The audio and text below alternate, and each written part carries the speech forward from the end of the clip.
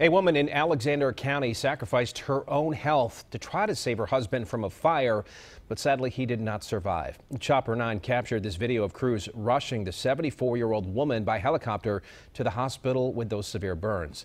Today, our Dave Faherty was with investigators as they tried to figure out the cause of that fire. Dave? And Scott, much of the damage from this fire is around the rear of the home where it started. But even from where I'm standing right here, we can see some damage around the front of the house. Let me step over the camera real quick. I'm going to push in right there. You can see where flames burned through the roof.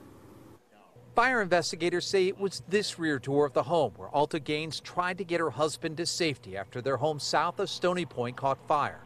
Neighbors shared photos of the couple this afternoon. They say David Gaines was paralyzed more than 30 years ago. His wife never stopped caring for him and risked her own life to save him last night. There was no doubt about it.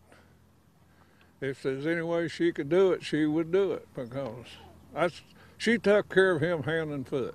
Miss Alta would not leave him for nothing.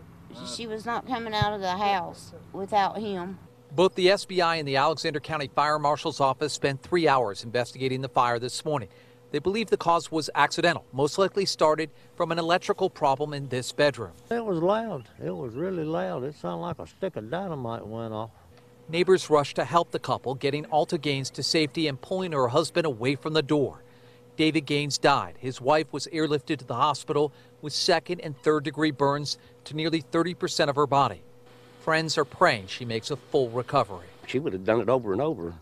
It didn't matter if it was a Johnny come lately walking down the road. If they were in trouble, she'd jump out. She'd do it. And we asked investigators about those explosion sounds that neighbors in this area heard. They told us earlier today it was most likely from an oxygen tank and ammunition found inside the home. Reporting live from Alexander County, I'm Dave Faherty. Now back to you.